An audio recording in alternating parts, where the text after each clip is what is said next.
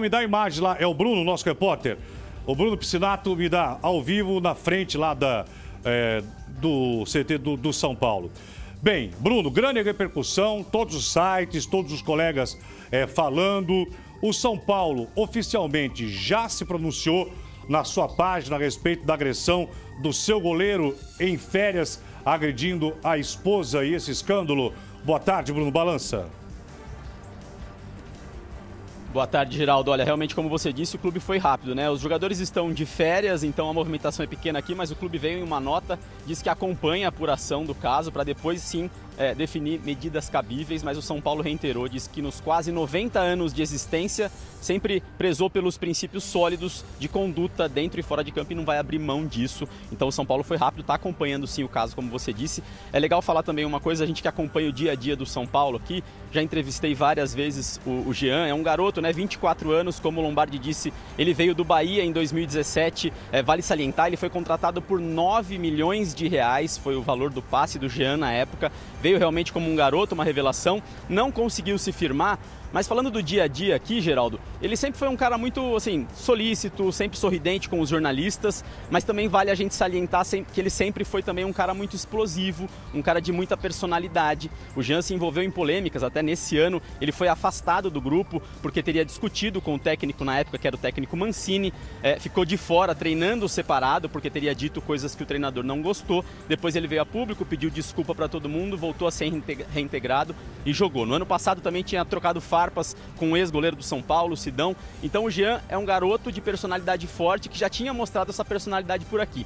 Então, falando sobre o clube, a gente segue acompanhando né, todos os detalhes, se o São Paulo vai se manifestar é, mais ainda do que essa nota, mas certamente o São Paulo vai, é, a gente falando da parte né, do, do futebol, o São Paulo vai tomar as medidas cabíveis. Vale lembrar que o Jean tem mais três anos de contrato com o São Paulo. Foi contratado em 2017 e tem mais três anos de vigência.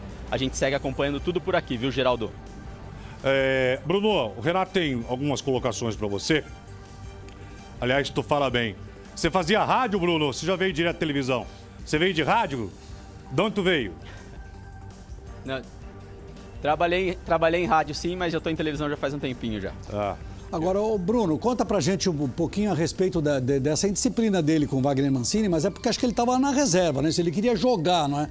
Agora, uma coisa é o lado profissional outra coisa é o lado pessoal dele agredir, espancar a mulher, agredir a mulher. É, com certeza, Lombardi. É, a, o Jean, pessoalmente, aqui é o que eu falei, fora do campo, fora do treinamento, ele sempre foi um cara muito sorridente com a gente, até com os outros companheiros a gente via um garotão mesmo, brincando com todo mundo. É, a questão do, do, da polêmica com o Mancini foi, de, foi depois de um jogo contra o Palmeiras. Ele não gostou de uma declaração do técnico, achou que o técnico estava colocando a culpa nele, né, no resultado nele, Jean. E aí ele falou algumas coisas dentro do vestiário e logo depois dessa conversa no meio do vestiário com outros jogadores, saiu o anúncio do São Paulo, né? Pedido do Mancini para ele ser afastado. Aí na época ele veio a público novamente, falou que é, na verdade o que o Mancini estava fazendo era, era uma represália, porque eles eram antigos rivais na época de Vitória da Bahia e Bahia. Então assim, foi um caso que se alongou durante um tempo, mas depois de um ou dois meses que o Jean ficou treinando em separado, ele baixou a bola, veio pediu desculpa para os companheiros e para o técnico e acabou sendo reintegrado ao clube. É sem dúvida um goleiro de muito potencial, né? Sempre foi tratado assim. É, vale lembrar que o Jean chegou a ser convocado para a seleção brasileira sub-20. Ele foi vice-campeão mundial com a seleção brasileira sub sub-20. Então, assim, foi uma aposta do São Paulo lá em 2017, mas ele não conseguiu se firmar nesses dois anos que ele tem de São Paulo até agora, né? Ô, Bruno, daqui a pouco você volta, mas só para eu saber, curiosidade. O contrato dele é bom? É um contrato? Quanto ganha um, um goleiro jovem como ele, né? Como a maioria né, desses jovens atletas. Quanto ganha um cara desse aí no São Paulo, ô, ô Bruno?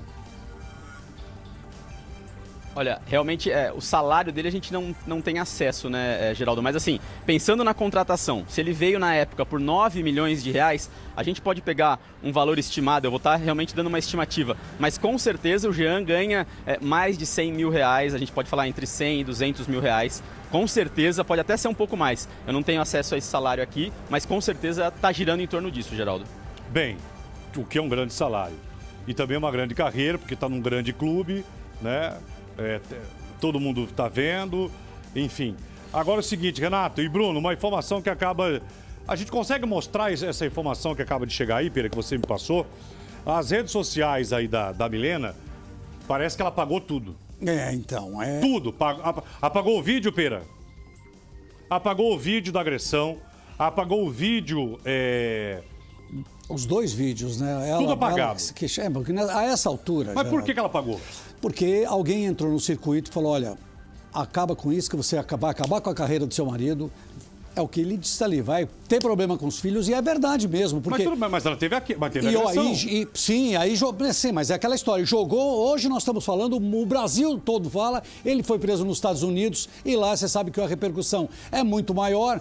Esse homem, quando voltar para o Brasil, se voltar para o Brasil, se não continuar preso lá, vai ser um. Quando ele chegar aqui, ele vai ter que, vai ter que explicar, porque é agressão à mulher. A gente está acostumado aqui a dizer exatamente isso. Você, os homens vivem batendo em mulheres como, como você bate em qualquer, qualquer pessoa, em qualquer um. É, não é assim. A repercussão é, uma é muito maior, é claro. É, hoje. Bem, a gente volta a qualquer momento e atenção.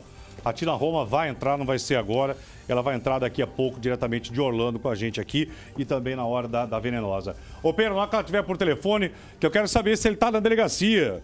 E o público também aí, se ele está preso, se foi arbitrado alguma, alguma fiança e tudo mais.